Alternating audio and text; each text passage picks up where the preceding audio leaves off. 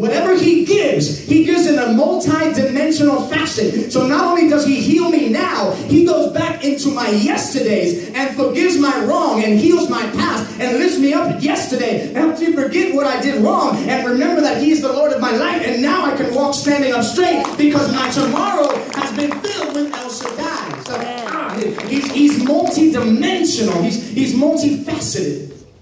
He doesn't just heal you for the now. You, you thought that that blessing was just so you can take it, go to Disney World, get on some rides, have some fun. No. If he's blessing you, can I just, um, if he's blessing you, it's because he's setting you up for something more. Amen. Because he is the God of more than enough. Yes. Uh, I, I, I wish I could, I, could, I could stay on this point all day, but, but I need to move on. But I got to, I got to let you know that what you're dealing with today, the God that you serve, our El Shaddai, is going to do more than what you think he's going to do. You're praying for the little and he's working in the much.